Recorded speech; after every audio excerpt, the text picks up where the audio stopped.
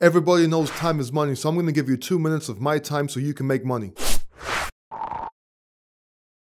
So, what is the think about what close, and how can you use the think about what close to increase your sales? Listen, the think about what close is usually used to handle the objection I need to think about it, which is a very common objection, a very annoying one, but it's used in this case. So let's say you present your product, let's say you you finish your sales presentation and your client, John, says he wants to think about it.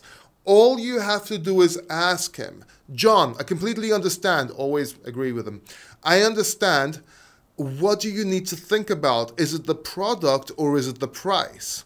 Now, if it's the product, you know how you need you need to re, you need to summary close them, you need to repitch them. You did a mistake in your presentation or is something he didn't understand.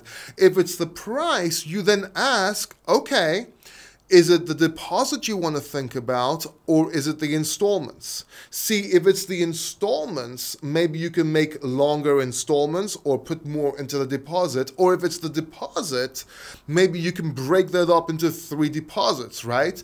So, for example, let's say your client says it's the installments, and you can do like a Mr. Echo, like the installments and he might say something like, Yes, I have my kids' school fees to pay for the next three months and you can say, okay, I understand. What if I under, What if I start the installments after three months? Do you, do you see where I'm getting with this? So you basically keep on asking him where the obstacle is and then you close that obstacle. That's what we mean by always be closing, by the way.